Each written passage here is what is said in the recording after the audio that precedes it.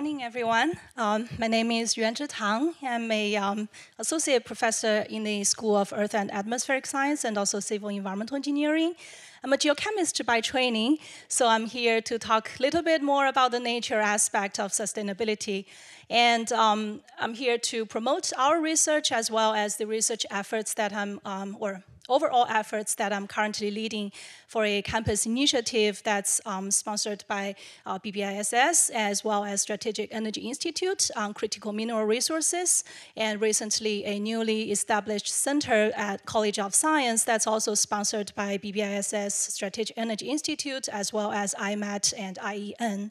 So some of you might ask, what is critical minerals? It might sound a little bit not so familiar, um, but so by definition, critical minerals are the minerals, elements, or metals that are critical and essential for the development and um, uh, evolution of sustainable and clean energy. And we rely heavily on them. To give you a few examples, these include battery-related metals such as lithium, nickel, cobalt, as well as rare earth elements. And um, these are very important. A lot of them are not are not able to be replaced for battery production. Um, rare earth elements are also important for a lot of high-tech and uh, clean, sustainable technologies such as wind turbine, um, permanent magnets, it's in your cell phone, in your laptop, and um, so we cannot live without them.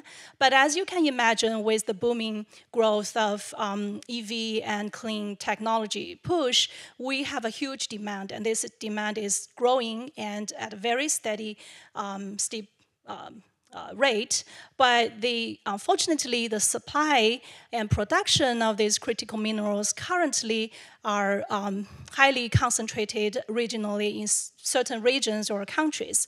So the challenges here that are facing us um, are multifolded. First is to explore new and alternative resources, understanding them. Um, and secondly, try to develop sustainable and green technologies for the extraction and production of these minerals and metals, because the traditional uh, production technologies typically involve harsh chemicals and come with very serious um, environmental and health burdens. And the third challenge that as an environmental background trained person, I would say is really also from take a system level approach, try to also manage the waste that would be generated during either the mining, mining, extraction, or processing processes. And the fourth aspect that I recently thought about is what can we do as a higher level education institute is to educate and um, help train a pipeline of workforce for not just addressing the immediate challenges, but also sustain you know, 10, 20, 30 years of this sustainable production and generation and domestic supply of these uh, important resources. So um, what my own research has been focused on this aspect is we look at uh, geological resources such as here, Georgia kaolin mining, they produce mine residues. We look at the potential occurrence of rare earth elements in these mine residues and how we might beneficially use them instead of opening up new mines or um, uh, try to also look for sustainable green technologies for the extraction. Um, we also work on uh, uh, the development of technologies and uh, development of more closed loop um, approach for the extraction of critical minerals from spent batteries, um, combustion residues such as coal fly ash, municipal solid waste incineration ash, scrap magnets or electronic waste, and mine tailings.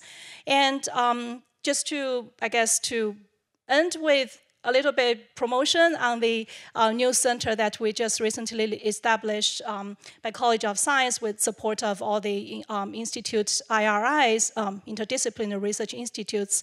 Um, the three pillars of this center that we are working on, the first pillar obviously is on science and engineering. So we look into the um, uh, exploration of new resources, including geological resources, marine resources, alternative or waste to resources, as well as AI machine learning for resource identification and development of engineering or applied um, extraction technologies.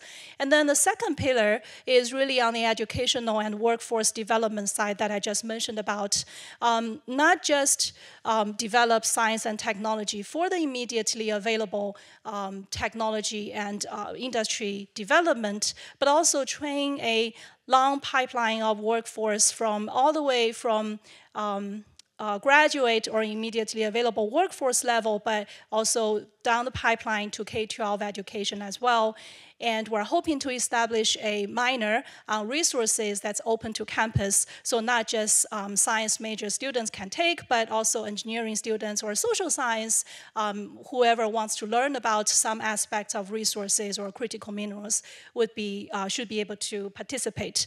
And then the third aspect is actually to develop regional resources uh, in collaboration of the three R1 universities, Georgia Tech, UGA, and Georgia State University to try to um, uh, hope, hopefully um, help the state of Georgia develop into a demonstration, a demo state, a model state where we have a uh, supply chain existing where we go from the resource aspect to solutions, engineered science and engineered solution, but also all the way to end users as well. So that's our long-term vision, obviously, we're just at the beginning, and I very much look forward to work with many of you on this aspect, not just from uh, science, but also engineering, as well as social science. As you can imagine, there are many, many social science aspects, as well as equity and um, outreach, community benefit um, aspects of this.